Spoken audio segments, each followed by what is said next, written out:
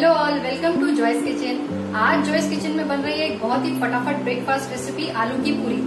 फटाफट से बन जाती है और घर में सब इसे बहुत पसंद करते हैं। चलिए देखते हैं कैसे बनाते हैं आलू की पूरी। तो आलू पूरी बनाने के लिए ये मैंने दो कप आटा लिया है। ये इस तरह की कटोरी है, इससे मैंने नाप लिया है। दो कटोरी आटा लिया है मैंने। और ये आलू लिए हैं, ये दो मीडियम साइज़ के आलू हैं। आप मान के चलिए दो कप आटे में आपके जाएँगे। ढाई सौ ग्राम के करीब आलू। और ये मैंने कद्दूकस कर लिए हैं। इससे क्या होता है ना, इसमें जो भी थोड़े बहुत भी आलू पूरे खड़े खड़े आ जाते हैं, वो नहीं आएँगे। और हमारी पूरी फटेगी नहीं, अच्छे से बनेगी। नेक्स्ट मैं आपको दिखाती हूँ, ये मसाले इसमें क्या जा रहे हैं। बहुत ही सिंपल है। हल्दी डालूँगी कलर के लिए। लाल मिर्च, ये अजवाइन। मगरैल थोड़ी सी डालूँगी, इससे बहुत ही अच्छा स्वाद आ जाता है। हरी धनिया कटी हुई। हींग है, थोड़ी सी। दो चुटकी हींग है और नमक है। चलिए, बनाना शुरू करते हैं। तो पहले आटे में मैं डाल लूँगी ये आलू। ये जाएँगे आटे में। आलू डाल दिए मैंने। इसके बाद इसमें सारे मसाले जाएँगे।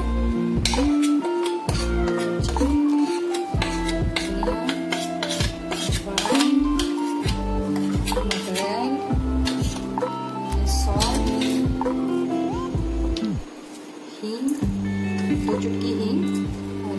कटी धनिया आप इसमें मेथी का भी यूज़ कर सकते हैं। अगर आपके पास मेथी या कसूरी मेथी घर में सब लोग पसंद करते हैं तो मैं इसमें हरी धनिया काट के डाल रही हूँ। और बस अब इसे हम लोग मार लेंगे। अब इसमें थोड़ा सा मैंने ऑयल डाल लिया है वन टीस्पून के करीब। और बस अब इसे अब इसे हम धीरे धीरे मार लेंगे।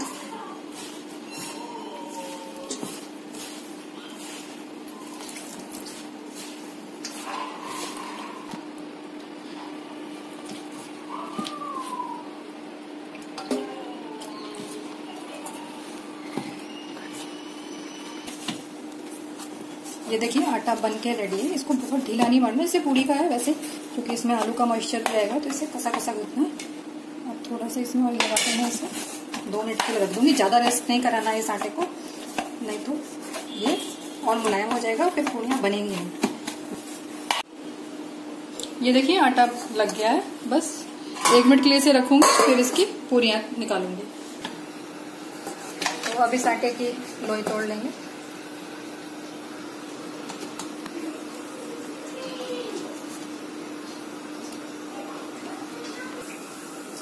हाँ। बहुत पतला नहीं करना है इनको, देखिए। इतनी मोटाई रखनी है इसकी। इस तरीके से मैं सारी बेल लूँगी, जो मैंने लोई बनाई है।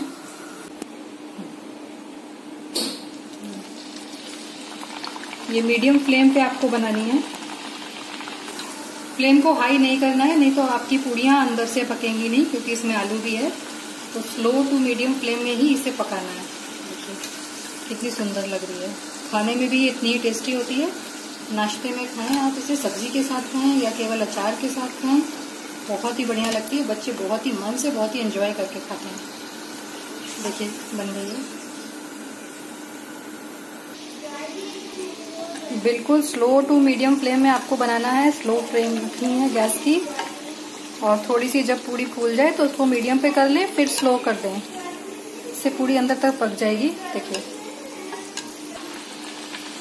देखिए, ये मैंने स्लो फ्लेम पे डाली है। मैं फिर से दिखा देती हूँ आपको एक बार। धीरे धीरे। साइड से दबा रही हूँ तो ये फूल गई है। अब इससे मैं पलट दूँगी। फ्लेम मीडियम कर ली है। देखिए। ये देखिए, पक गई है